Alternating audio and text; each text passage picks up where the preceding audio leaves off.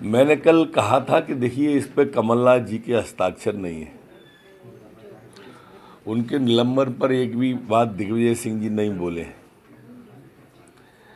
दूसरा अविश्वास प्रस्ताव है जी जिस पे माननीय कमलनाथ जी अनुपस्थित हैं। पहला अविश्वास वो आया था और दूसरा कल रखा गया।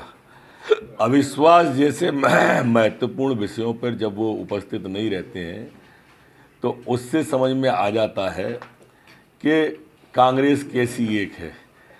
अब तो कल ऐसा लग रहा था कि नेता प्रतिपक्ष जी लोगों से विधायकों को बुला बुला के दस्खत करा रहे थे, ढूंढते फिर रहे थे।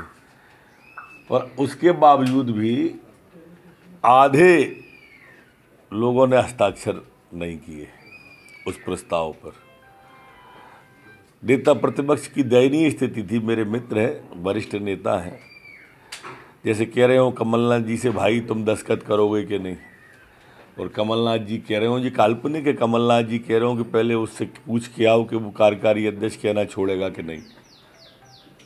सर ये कांग्रेस की अंतर अंतरकलह है। वो सही कह रहे हैं उन्हें मालूम है 2023 के परिणाम में कांग्रेस आने वाली है ही नहीं।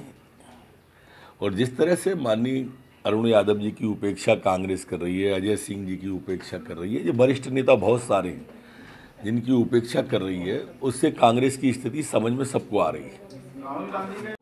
कांग्रेस कह रही है कि आप लोगों की बी टीम आ रही है। हम्म। बेचैनी कांग्रेस को हो सकती है। कमलनाथ जी कह रहे हैं कि शिवराज जी जो है वो कलाकार हैं उनको मुंबई वो तो उनकी खुशी दिख रही थी कल तो। जैसा लग रहा था जैसे कोई उन्हें की मुराद पूरी हो गई हो। चेहरे पर झलक रहा था उनके। एक उनका बयान वो भी देखा मैंने तानाशाही का, कि तानाशाह अब कैसे कैसे वाक्य बोल रहे हैं। इमरजेंसी के जो नायक खलनायक रहे कमलनाथ जी, वो हमको तानाशाह कह रहे हैं। ये भी अचंभे की बात है। कि किस तरह से वो किसको कहते हैं तानाशाही तो आपकी है जिसकी चक्की में कांग्रेस पिस रही है इस समय पूरी की पूरी।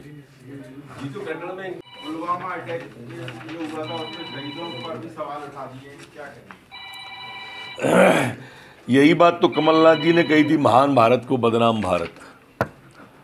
भारत को बदनाम करने का राहुल जी ने कभी कोई मौका नहीं छोड़ा। और इसीलिए वो हमारे देश की, विदेश की धरती पर जाके मखौल उड़ाते हैं। कभी भारतीय लोकतंत्र पर ये खतरा बताते हैं राहुल बाबा। कभी जैसा आपने कहा उसके पहले वैक्सीन पर उंगली उठा देते हैं, ये सेना पर उठा देते हैं, पुलवामा के शहीदों पर उठा देते हैं, चीन का गुणगान करते हैं। तो ये खुद राहुल बाबा की स्थिति ऐसी है कि ये भारत को नीचा दिखाने के लिए कभी कोई भी चीज़ नहीं छोड़ते।